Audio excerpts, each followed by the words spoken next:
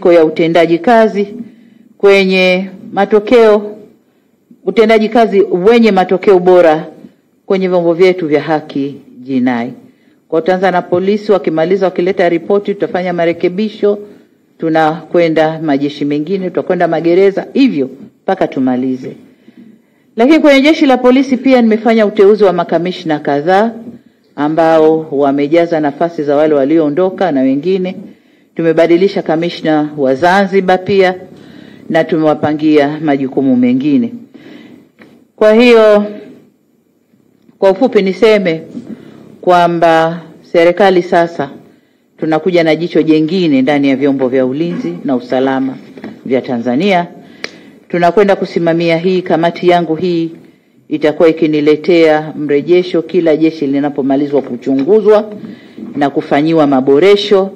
Tutakuja na miundo inayofaa sasa hivi ili kujenga majeshi imara na bora kutumikia Watanzania. Baada ya kusema hayo, niwapongeze tena wateuliwa, niwatakie kazi njema mnakokwenda, na IGP tutazungumza ndani, mengine lazima nikuambie ndani, siwezi kuyasema hapa. Kwa hiyo nawatakia kila la heri na asanteni sana kunisikiliza. Asanteni sana.